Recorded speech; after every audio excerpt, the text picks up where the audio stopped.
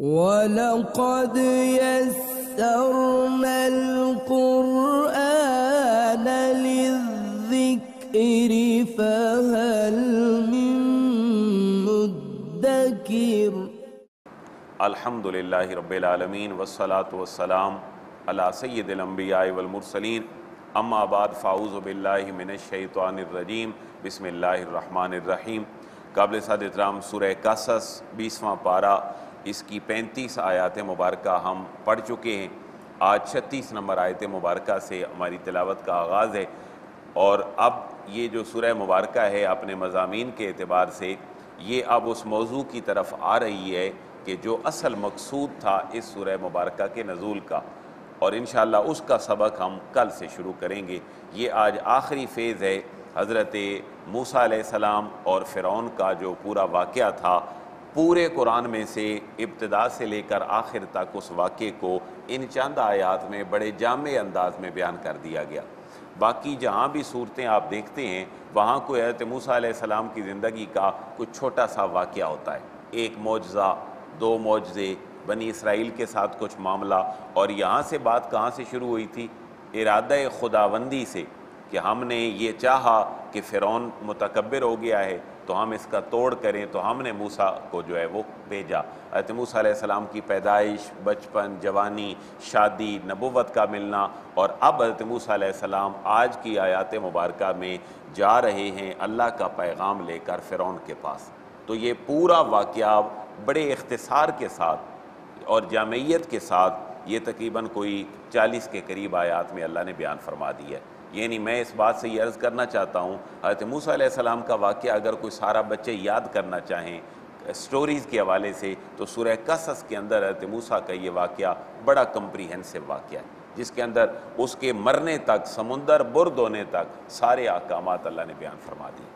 اب ذرا دیکھیے گا، حضرت موسیٰ علیہ السلام جا رہے ہیں فرعون کے پاس، اور فرعون نے وہ بات کی ہے جو ہر باطل کا علمبردار کسی بھی نبی کی اشاعت اسلام اور توحید کے اعلان کے جواب میں کہتا ہے۔ اور نبی پاک صلی اللہ علیہ وسلم کو بھی یہی جواب ملا۔ حضرت موسیٰ علیہ السلام جب اللہ کے احکامات لے کر گئے تو فرعون کہتا ہے اور اس کی عواری یہ تو جادو ہے۔ یہ جو آپ کہہ رہے ہو، یہ تو کچھ جادو ہے، یہ تو گھڑی ہوئی کوئی باتیں ہیں۔ ہم نے تو اپنے باپ دادا سے ایسی بات سنی نہیں ہے کہ اللہ بھی کوئی ہوتا ہے، یا اس کا نظام بھی کوئی ہوتا ہے، اس کائنات کا کوئی خالق بھی ہے۔ حضرت موسیٰ علیہ السلام جواب دیتے ہیں کہ میرا اللہ ہی بہتر جانتا ہے اور زیادہ جانتا ہے، جس کے اس نے کس کو ہدایت کے ساتھ بھیجا ہے اور کس کی عاقبت اچھی ہے۔ اب فرعون آگے ڈیبیٹ کرتا ہے۔ دو آیات کا میں نے خلاصہ عرض کر دیا اعوذ باللہ من الشیطان الرجیم، بسم اللہ الرحمن الرحیم۔ فلما جاءہم موسیٰ، فا کا معنی دین، پس پھر یہ پریپوزیشنز ہیں اور پارٹیکلز ہیں، یہ ایڈجسٹ کر دیتے ہیں مفہوم کو پورے سنٹینس کے اندر۔ پھر جب جا اہم ان کے پاس آئے یعنی فرونیوں کے پاس، موسیٰ، میرا نیک بندہ موسیٰ کلیم اللہ، جب ان فرونیوں کے پاس آیا بے آیات نا یہ تین الفاظ کا مجموعہ ہے، با، آیات اور نا۔ با کا معنی کے ساتھ، آیات کا معنی نشانیاں یعنی معجزات لے کر آئے۔ نا ہماری ہماری روشن نشانیاں لے کر جب موسیٰ ان فرونیوں کے پاس آئے اور نشانیاں بھی کیسی تھیں، بینات، بڑی واضح قسم کی جو ہیں وہ آیات اور روشن دلیلیں تھیں، وہ دو باتیں ذہن میں رکھیں۔ حضرت موسیٰ علیہ السلام کو اللہ نے دو معجزات دیے تھے۔ ایک معجزہ تو یہ تھا کہ آپ اپنا ہاتھ بغل میں ڈالو تو یہ بہت زیادہ روشن ہو کر نکلے گا۔ تو وہ روشن نشانیاں جو اللہ نے دی تھیں، وہ حضرت موسیٰ علیہ السلام لے کے آ رہے ہیں۔ کالو ما حاضا اللہ سحر مفترا۔ کالو انہوں نے جواب دیا، وہ کہنے لگے، ما حاضا یہ نہیں ہے جو پیغام موسیٰ آپ لے کر آئے ہیں، معجزات والا، کہ ہاتھ روشن ہو جاتا ہے۔ اللہ سحرم مگر یہ جادو ہے، اور مفترا، یہ کو گھڑا ہوا جادو ہے۔ یہ کو سحر تاری کر دینے والی بات ہے۔ آپ سمجھنے کے لیے کہہ سکتے ہیں، جیسے ہیپناٹائز کر لیا جاتا ہے کسی کو، وہ یہی کہہ رہے ہیں اور کہنا چاہتے ہیں کہ آپ نے تو ہمیں ہیپناٹائز کر لیا ہے، آپ نے جادو میں رنگ دیا ہے، باقی بات کوئی نہیں ہے جو آپ کہہ رہے ہیں۔ وما سمعنا بحاذا فی آبائنا الاولین اور وہ کہنے لگے کہ وما سمعنا، واؤ کمانا اور ما نہیں، سمعنا۔ ہم نے سنا، ہم نے نہیں سنا۔ فرونی کہتے ہیں، بے حاضہ، اس قسم کی بات کو کہ اللہ ہے، اس کا وہ خالق ہے اور تم نے اسی کی طرف لوٹ کے جانا ہے۔ فی آبا ان الاولین اپنے جو پہلے آبا و اجداد تھے، ہمارے فور فادر تھے، ہم نے ان سے تو اس طرح کی باتیں سنی کوئی نہیں۔ آپ کو نئی بات ہی ہمارے پاس لے کے آئے ہیں۔ وقال موسا واؤ کا معنی اور کالا کہنے لگے حضرت موسیٰ علیہ السلام، ربی عالمو۔ میرا رب بہت زیادہ جانتا ہے، بے من اس کو یہاں باپ کو کا معنی زیادہ ایڈجسٹ کر رہی ہے۔ میرا رب بہت خوب جانتا ہے اس کو جا بالہدا جا جو آیا ہے بالہدا، ہدایت کا پیغام لے کر میرا رب اس کو بہت بہتر جانتا ہے۔ تم مانو یا نہ مانو؟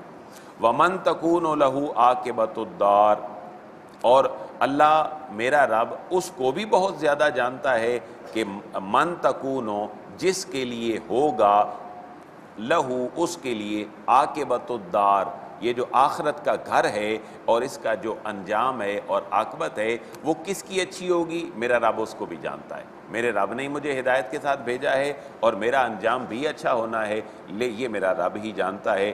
انہو لا يفلح الظالمون، انہو، اور بے شک اس رب کی شان یہ ہے کہ اس کی بارگاہ سے لا يفلح الظالمون، جو ظالم ہیں وہ کبھی فلا نہیں پا سکتے۔ ظالم فلا کیسے نہیں پا سکتے؟ اللہ ان کا نام و نشان ہی مٹا دیتا ہے۔ اگلی آیات میں یہ بات آ رہی ہے۔ وقال فرعون، یا ایوہ الملعو فرعون اب اپنے درباریوں کو حضرت موسیٰ علیہ السلام کے ساتھ اس ڈسکشن کے بعد ایک بڑا نفسیاتی پہلو اختیار کرتا ہے اور ایک نفسیاتی چال چلتا ہے۔ وہ نفسیاتی چال کیا ہے؟ وہ اپنے وزیر خاص کو کہتا ہے بھئی میں تو یہ جانتا ہوں کہ میرے علاوہ کوئی معبود نہیں ہے۔ ذرا اگلی بات اس کی دیکھیں۔ میں تو جانتا ہوں، فرعون کہتا ہے کہ میرے علاوہ کوئی معبود نہیں ہے۔ لیکن یہ جو موسیٰ بات کر رہے ہیں، ہم اس کو بھی دیکھ لیتے ہیں۔ اچھا دیکھیں گے کیسے؟ وہ اپنے وزیر خاص حامان کو کہتا ہے کہ تم موسیٰ، اپنے خدا کی بات کہتے ہیں کہ یہ بلندیوں میں ہے۔ تو ذرا تم بڑا سا ایک محل بنا دو، مینارہ۔ میں اس کے اوپر چڑھ کے دیکھ لیتا ہوں۔ کہ یہ موسیٰ کا جو خدا ہے، یہ ہے بھی صحیح یا نہیں؟ تو یہ مفسرین نے لکھا ہے، یہ اس کی نفسیاتی چال تھی کہ ایک دفعہ ڈسپرس ہو جائیں یہ جو لوگ ہیں، اور پھر میں آئندہ کسی ایسی نشست کا اہتمام نہیں کروں گا کہ جس کے اندر موسیٰ بھی ہو اور میری اس کے ساتھ ڈیبیٹ ہو اور جو باقی لوگ ہیں، میں ان کے لیے جو ہے وہ لاجواب نہ ہو جاؤں۔ تو اب روایات کچھ یوں بھی ہیں کہ فرعون نے ایک بہت بڑا جو ہے وہ مینارہ بنوایا، اس کے اوپر وہ چڑھا۔ اس نے تیر اوپر کی طرف پھینکے اور وہ خون آلود ہو کر نیچے آئے تو اس نے کہا، دیکھو، میں نے موسیٰ کے خدا کو معذ اللہ قتل کر دی ہے۔ لیکن یہ جو اگلی بات ہے، مینارہ بنانے والی اور تیر پھینکنے والی اور خون آلود ہو کر ہونے والی، ان کو جو ایک سلیم الفطرت مفسرین ہیں، جنہوں نے قرآن و سنت کو ہی اپنا حوالہ بنایا ہے، نہ کہ اسرائیلی روایات کو، انہوں نے اس واقعے کو کنڈیم کیا ہے۔ کہ موسیٰ علیہ السلام کے مقابلے میں فرعون نے کوئی ایسا منارہ نہیں بنایا تھا جہاں وہ تیر پھینکتا اور خون آلود ہو کر واپس آتے اور وہ کہتا جی یہ موسیٰ کے خدا کا معذ اللہ قصہ تمام ہو گیا ہے۔ یہ وہ روایات ہیں جن میں جو ڈیوائن اور شخص اللہ رب العزت کی ذات ہے، اس کو کنڈیم کرنے کے لیے اس طرح کے تفسیری واقعات ہیں۔ کسی صحیح حدیث مبارکہ میں ایسی کوئی بات موجود نہیں۔ معتبر مفسرین نے اس واقعے کو جو ہے وہ غلط کہا ہے۔ لیکن یہ فرعون کی چال ضرور تھی کہ میں ان کو ڈسپرس کر دوں اور ایک بڑا سا محل بنا دو۔ تو لوگ اس کو بناتے بناتے بھی تو پانچ سال گزار دیں گے۔ آپ بڑے بڑے محلات اور تعمیرات دیکھیں، مغل دور کی پرانی، تو یہ ایک دن میں تو نہیں بنی یہ مہینوں میں بھی نہیں بنی ہوئی۔ ان کی تعمیر میں تو سالہ سال لگتے ہیں۔ تو وہ ڈسپرس کر کے اپنے پروجیکٹ کو لمبا کرنا چاہتا تھا کہ ایک دفعہ جائیں تو صحیح، اس کے بعد کی بات بعد میں دیکھی جائے گی۔ وقال فرعون، واؤ کمان اور کالا کہنے لگا فرعون فرعون، یا ایوہ الملعو اے حواریو، جو بیوروکریٹس ہیں اس کے، مشیر خاص ہیں اس کے، درباری ہیں، حواری ہیں، ان کو مالا آ جو اپنی ایک اعلیٰ اتھارٹی رکھتے ہوتے ہیں کسی بھی بڑی شخصیت کے پاس ان کو قرآن مالا آ سے تعبیر کرتا ہے۔ اے اہل دربار، ما علم تو ما نہیں، علم تو میں جانتا، لکم کہ تمہارے لیے ہے، من الہن، کوئی معبود غیری میرے علاوہ۔ میرے نالج میں تو ایسی بات نہیں ہے کہ میرے علاوہ بھی تمہارا کو خدا ہو۔ دیکھیں نا، یہاں وہ یہ نہیں کہہ رہا فرعون کہ میرے علاوہ تمہارا کو خالق ہو۔ خالق کی بات نہیں کی۔ کیونکہ ساری دنیا جانتی ہے کہ فرعون اگر خالق ہوتا تو پھر حضرت موسیٰ علیہ السلام بچ کے کیسے آ جاتے؟ فرعون خالق نہیں ہے۔ فرعون نفی کر رہا ہے کہ میرے علاوہ تمہارا معبود کوئی نہیں ہے، کہ تمہارے اوپر اگر حکم چل سکتا ہے تو وہ میرا ہی چل سکتا ہے۔ تم نے نظام میرا ہی اختیار کرنا ہے پورے معاشرے میں پیدا ہونے سے لے کر مرنے تک۔ لہذا میں تو یہ جانتا ہوں، فرعون کہتا ہے کہ تمہارے لیے میرے سوا کوئی اور خدا نہیں ہے۔ لیکن موسیٰ کی بات کو بھی دیکھ لیتے ہیں۔ اب وہ کہتا ہے فَأَوْقِدْ لی فا کمانا، پس اوقد، جلاؤ، روشن کرو۔ لی میرے لیے کوئی کیا چیز روشن کرو؟ آگ جلاؤ۔ یا ہامانو، اے ہامان التین مٹی پر۔ یعنی مٹی پر اس کی جو اینٹیں بننی ہیں اور وہ گارا لگنا ہے، تم مٹی کے اوپر، اینٹوں کے اوپر آگ جلاؤ۔ بھٹھا پورا بناؤ، بڑا بلندو بالا فج علی سرحا۔ فا کا معنی اور یا پھر اج ال تم بناؤ لی میرے لیے سرحا، ایک بلند و بالا محل۔ اب بات کہاں سے شروع ہو رہی ہے جی؟ پہلے مٹی اکٹھی کرو، ان کی اینٹیں بناؤ، ان کو پھر جلاؤ، وہ پھر پکیں، پکنے کے بعد محل تعمیر کرو۔ تو یہ تو مہینوں اور سالوں کا پروسیجر ہے۔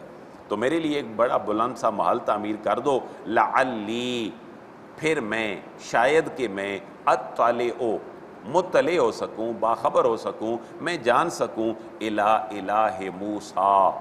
موسیٰ کا جو الہ ہے، موسیٰ کا جو خدا ہے، جس کا تعارف یہ بندہ بیان کر رہا ہے، شاید میں اس کے اوپر چڑھ کے اس بات کو دیکھ سکوں کہ کوئی ہے بھی صحیح۔ لیکن وہ انی لَأَظُنُّهُ مِنَ الْقَاذِبِينَ لیکن اے اہل دربار، یہ بات ذہن میں رکھ لو کہ وہ انی بے شک میں لَأَظُنُّهُ میں گمان کرتا ہوں اس موسیٰ کو معذ اللہ من القاذبین جھوٹوں میں سے میں اس کو جھوٹا سمجھتا ہوں، لیکن تمہاری سیٹسفیکشن کے لیے میں کو اس طرح کی بات بھی کر آتا ہوں کہ میں اوپر چڑھ کے دیکھ آتا ہوں۔ یہاں وہ واقعہ ہے جس کو سیرت نے، مفسرین نے کو اچھی نگاہ سے نہیں دیکھا، جنہوں نے لکھا ہے، بس انہوں نے لکھ دیا ہے۔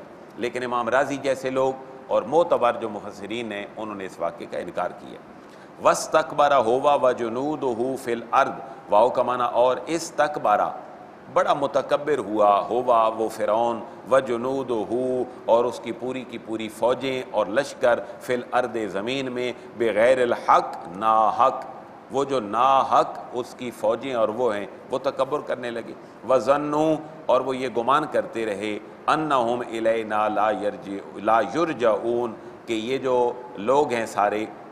وہ الینا ہماری طرف لا یرجعون، یہ نہیں لوٹائے جائیں گے۔ یہ کمنٹری ہے ذات باری تعالیٰ کی طرف سے کہ فرعون متکبر ہو گیا، اس کی فوجیں متکبر ہو گئیں اور وہ یہ گمان کرتے رہے کہ انہوں نے مرنا کوئی نہیں ہے اور مرنے کے بعد ہماری طرف لوٹ کے آنا کوئی نہیں ہے، بس اس وہ بکھیڑوں میں پڑے رہے۔ تو اللہ فرماتا ہے، ہم نے انجام کیا کیا؟ فَأَخَذْنَاهُ ہو فا کمانا؟ پس اخذنا، پکڑ لیا، ہم نے ہو۔ اس کو موسیٰ کو پروناؤن ہے۔ وَجُنُودَهُ، اور اس کے جو لشکری ہیں، ان تمام کو ہم نے پکڑ لیا، صرف پکڑا ہی نہیں فَنَبَزْنَاهُمْ فِي الْيَمْ۔ فا کمانا پس نبزنا ہم نے پھینک دیا، ہم ان کو فی الیم۔ فی کمانا میں، یم کمانا سمندر۔ ہم نے ان کو سمندر کے اندر پھینک دیا، اور اللہ فرما رہا ہے اے حبیب اب ہم واقعے کی طرف آ رہے ہیں جی جو اصل واقعہ ہے، جس کی وجہ سے یہ پوری چالیس آیات مبارکہ بیان ہوئی اللہ فرما رہے محبوب، ذرا ان کو بتائیں۔ اہل مکہ کو، ابو لہب کو، ابو جہل کو، بڑے بڑے سرداروں کو۔ فن فنظر کیف کان عاقبت الظالمین۔ محبوب، آپ ذرا اس میں غور فرمائیں اور ان کو بتائیں، یہ فرعون کیوں بن رہے ہیں؟ ابو جال تو فرعون نہ بنے۔ ابو لہب تو فرعون نہ بنے، یہ آپ کے کلمہ حق کو مانے، ورنہ ان وہ برباد ہو گئے تھے تو یہ بھی برباد ہو جائیں گے۔ فن ذر فا کمانا پاس اون ذر اے حبیب مکرم، ذرا دیکھیے، غور کیجیے اور ان کو بتائیے اہل مکہ کو، کیفا، کیسے، کانا ہوا، عاقبت الظالمین، ظلم و ستم کرنے والوں کا انجام کیا ہوا؟ یہ محبوب آپ انجام ان کے سامنے رکھیں۔ وَجَعَلْنَاهُمْ أَئِمَّةً يَدْعُونَ إِلَى النَّارِ۔ واؤ کمانا اور اللہ فرما رہے جعلناہم، ہم نے بنایا تھا انہیں، ائمہ، پیشوا۔ ہم نے ان کو بڑا پن دیا تھا، لیکن وہ ایسے پیشوا ثابت ہوئے کہ ید اون النار۔ وہ بلاتے تھے لوگوں کو اور اللہ کی مخلوق کو النار۔ آگ کی طرف۔ یہاں بھی دیکھیں نا، اللہ نے اہل مکہ کو اور قریش کو بھی کیا دیا تھا؟ وہ ان کو امامت عطا کی تھی۔ وہ پورے عرب میں اپنا بڑا ممتاز مقام رکھتے تھے۔ تو اللہ فرما رہے محبوب، ان کو بتلائیے کہ فرعون اور اس کی عواریوں کو ہم نے امامت دی تھی، لیکن وہ لوگوں کو دوزہ کی طرف بلاتے تھے۔ تو یہ جو قریشی ہیں، ان کو محبوب فرمائیں، یہ خیال کریں، ہم نے ان کو بڑا مقام دیا ہے عرب کے قبائل میں۔ تو یہ تو لوگوں کو کم از کم آگ کی طرف نہ بلائیں، ورنہ ہوگا کیا؟ وہ یوم القیامت لا ينصرون واؤ کا معنی اور یوم القیامت، قیامت والے دن لا ينصرون ان کی مدد نہیں کی جائے گی، یہ ایکٹیو نہیں، بلکہ پیسو جو ورب ہے وہ ذکر کیا گیا۔ لا ينصرون، ان کی مدد نہیں کی جائے گی۔ رکوع ختم ہو رہا ہے جی اگلی آیت میں 42 نمبر آیت میں۔ وَأَتْبَعْنَاهُمْ فِي هَذِهِ الدُّنْيَا لَعْنَا۔ سمندر میں ہی نہیں پھینکا صرف۔ وَأَتْبَعْنَاهُمْ واؤ کا معنی۔ اور اتبعنا یہ نکلا ہے اتباع کرنے سے، پیچھے آنے سے۔ اللہ فرما رہا ہے، مار بھی دیا ہم نے ان کو، غرق بھی کر دیا سمندر میں، وَأَتْبَعْنَاهُمْ، اور ہم نے ان کے پیچھے لگا دی۔ فی حاضح دنیا اس دنیا میں لانتاً ہم نے فرعون اور اس کے عواریوں کے پیچھے دنیا میں لانت لگا دی۔ اور ویوم القیامت ہم من المقبوحین اور جب قیامت کا دن ہوگا تو ہم من المقبوحین یہ اس وقت بھی لانتی لوگوں میں شمار ہوں۔ اور جیسے ہو رہا ہے دنیا میں، اگر کسی نے ظالم کی مثال دینی ہو، بدبخت کی مثال دینی ہو، تو معاذ اللہ کو یہ نہیں کہتا یہ موسیٰ ہے، بلکہ کیا کہتا ہے؟ یہ فرعون ہے اور یہ فرعونی مزاج رکھتا ہے۔ اب اس کے بعد جی اب الحمدللہ ہم آئیں گے اس صورت کے اصل، یہ بھی اصل موضوع تھا، اللہ کا کلام ہے۔ لیکن جس مقصد کے لیے یہ 42 آیات بیان کی گئیں، کل سے زندگی رہی تو وہ مقصد بیان ہوگا۔ اور آقا دو جہاں کو اللہ تعالیٰ اپنے مشن کے ساتھ وابستہ رہنے کی بار بار تاکید فرمائے گا۔ اور جو پالیسی ہے اور سٹریٹجی ہے اہل مکہ کے سامنے دین حق کو رکھنے کی، اب کل سے اس کے لیے باتیں ہوں گی۔ تو دیکھیں یہاں پر ہم کہاں تک پہنچائیں؟ 42 تک۔ 42 تک تمہید باندھی گئی ہے کہ بات کیا کرنی ہے۔ تو قرآن کا مزاج دیکھیں کہ ذہن سازی پہلے ذہن بنانا ہے اور پھر اپنے مقصد کی طرف لانا ہے اور یہی نظام تعلیم کی بنیاد ہونی چاہیے۔ ذہن سازی جب معاشرے کی ہو جائے گی، پھر ان کو عملی احکامات کی طرف لائیں گے تو چیزیں بڑی بہتر ہو جائیں گی۔ آپ نے دیکھا ہے، ڈینگی پر آج تک کنسنسز نہیں ہوا تھا۔ اس کرونا پہ بھی آج تک بھی اتنے سال ہو گئے ہیں، اب بھی لوگ تقسیم ہیں۔ جی کرونا بہت بڑی سازش ہے۔ ویکسین بہت بڑی سازش ہے۔ اس کی، اس کے پیچھے لاجک کیا ہے کہ یہ ذہن سازی آج تک نہیں ہوئی جہاں ہونی چاہیے۔ اب پولیو کے قطرے پلاتے پلاتے کتنے سال ہو گئے ہیں؟ آج تک لوگوں کے ذہن اس پہ جو ہے وہ ہنڈریڈ پرسنٹ کلیئر نہیں ہے کہ یہ پولیو کے قطرے کہاں سے آتے ہیں۔ یہ نہیں، میں یہ نہیں کہہ رہا کہ یہ غلط ہیں یا صحیح ہیں۔ اور ڈینگی کیا ہے یا کرونا کیا ہے۔ لیکن ذہن سازی جو معاشرے کی ہے، وہ حکومت وقت کی ذمہ داری ہوتی ہے، میڈیا کے ذریعے مسجد کے ممبر کے ذریعے، مختلف طریقوں سے۔ لیکن وہ نہیں ہو پاتی تو لوگ بڑی انسرٹینٹی کی کیفیت میں چلے جاتے۔ ہیں اللہ ہمیں یقین نصیب فرمائے اور قرآن کا فہم نصیب فرمائے، وما علیہ اللہ البلا